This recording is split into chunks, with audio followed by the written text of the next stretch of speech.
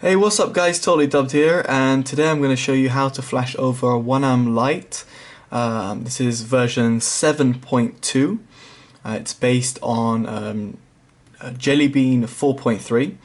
So, first of all, what you want to do is put the ROM on your um, external SD card, if you've got it. If not, you can put it in your internal SD card. Um, and you want to make sure you make all backups on your um, on your computer.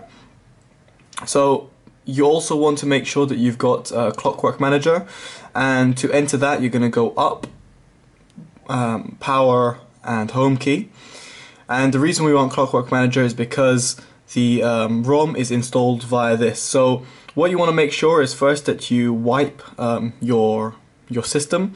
You don't have to but I really recommend wiping it what I'm also going to do is wipe my internal SD card now you don't have to do this um, however, I do it because I like to have a nice clean internal SD card. So as you can see, I'm going to be flashing from an external SD card. And as you can see, I've got WanamLite right there. It's as simple as clicking and installing and just letting it run to install. So I'm gonna do, I'm gonna let it run and uh, get back to you guys uh, once this is installed. So the ROM is finished installing, so we're gonna go back and reboot now. You don't have to fix root over here. Uh, Wanam does specify you don't have to do it, but um, I I did it last time, so I'm going to do it this time as well. You don't have to do it um, simply because it's already rooted, and um, you will get SU um, over there included in the ROM. So it's finished installation, so we're going to go through um, the installation process. So we've booted up and finished installation, so now I can go into settings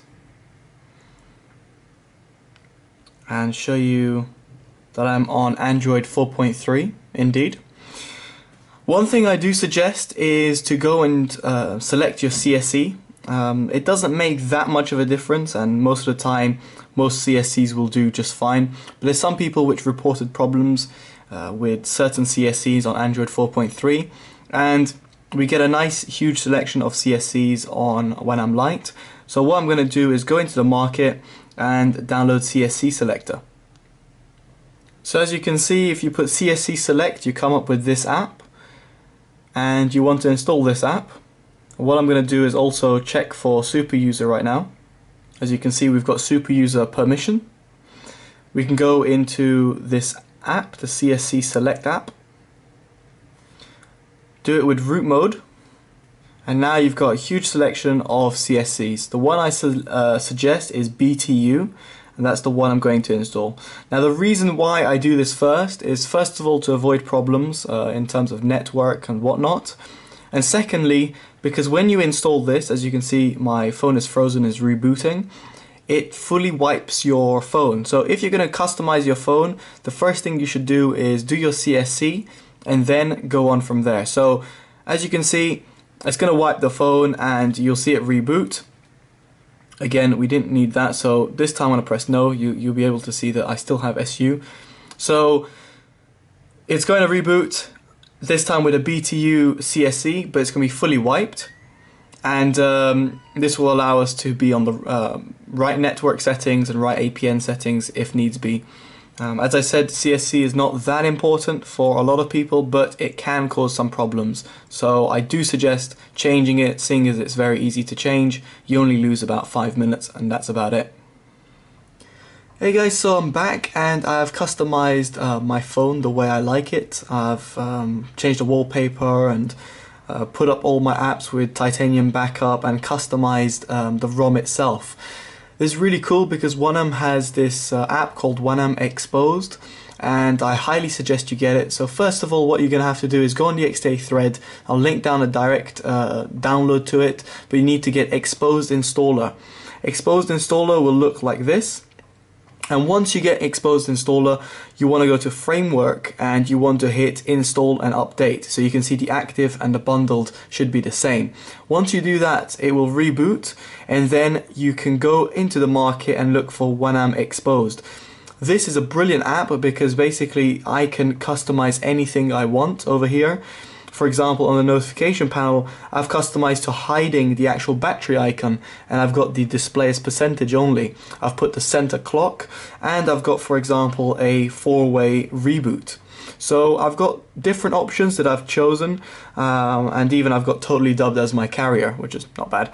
Uh, so you can go ahead and customize customize it the way you want. And for example, if you make a change, it will come up with a little notification saying please apply um, changes and then you just hit reboot you can hit the fast reboot if you want but I just suggest a reboot so you do a reboot and it's going to reboot into the ROM again and apply the changes that you did Bear in mind some of them might not work uh, because it's Android 4.3. With that said, every single option I chose worked perfectly fine.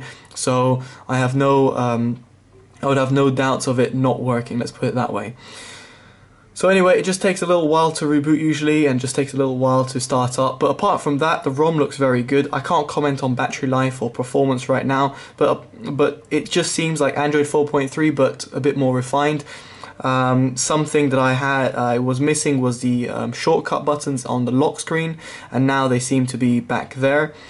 There seems to be also uh, that customization which is there with the Wanam Xposed is really good because it allows you to customize your phone a little bit more than you're normally used to. So overall, absolutely brilliant ROM so far.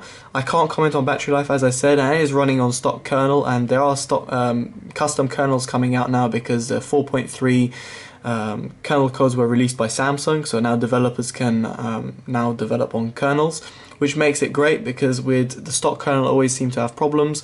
So now we're going to have some custom kernels out there. So I've restored everything, seemed quite happy with it. The installation process was really easy. Um, the speed so far seems good.